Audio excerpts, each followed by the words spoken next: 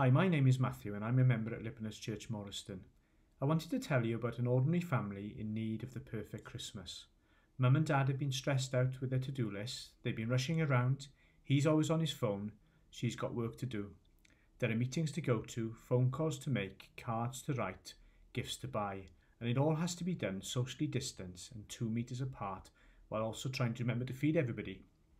The kids have had lines to learn for their school plays songs to sing, concerts to play, and Christmas cards to write for their class. Not to mention being good, being stuck indoors and wearing itchy Christmas jumpers. Finally, the family have made it to Christmas. I hope it's worth it. I hope there's good news. I hope there's some space in all of the busyness to find joy. You know what? Let's put everything else down, all the bags and all the stress. God has given us exactly what we need at Christmas. We read in the Bible, Matthew chapter 1, verse 21 and 23 She will give birth to a son, and you are to give him the name Jesus, because he will save his people from their sins. She will have a son, and they will call him Emmanuel, which means God with us. The angel tells Joseph to call the baby Jesus, which means God saves, because he will save his people. But people will call him Emmanuel, which means God with us, because he is God with us. Call him Jesus because he's the Saviour that we need. Call him Emmanuel because he's God with us.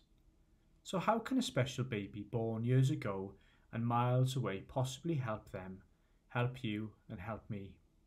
The clue is in his names. This baby is a Saviour baby. This baby has come to save us from a big problem that affects your family, my family, everyone's family all the ways we hurt and harm each other, all the times we put ourselves first, all the ways we spoil the day and spoil our world, all the ways we shut out and ignore the God who made us. God calls these things sin. This is what God is saving us from. This is why we need a Saviour baby. But there's more. This baby is God with us. Jesus is God, a baby who was perfect from the start, wonderful, loving, and completely in control. God loves us so much that He didn't turn His back on us and leave us to deal with the mess we make on our own.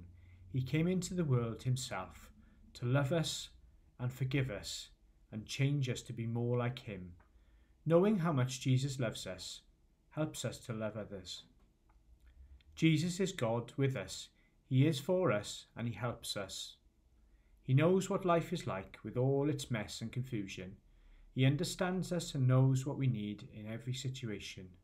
He came for us.